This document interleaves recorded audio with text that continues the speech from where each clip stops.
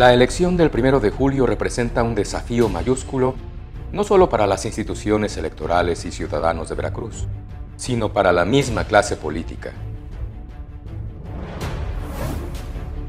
En un estado tan castigado por políticos que para ascender a cargos de poder abandonan cualquier ideal democrático, ya es tiempo de que antepongan los intereses de la mayoría de los veracruzanos.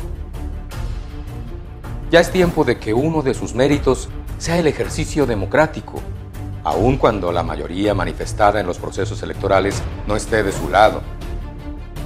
A ustedes políticos, la ciudadanía les reclama juego parejo, detenerse ante los intentos de unos cuantos por permanecer en el poder a costa de lo que sea.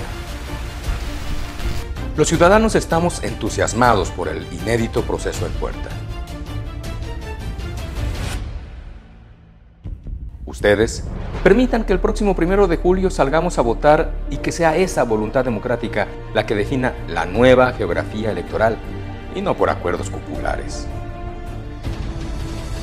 Su conducta y decisiones en este momento de definiciones en elecciones tan cerradas como la de Veracruz marcarán su historia personal.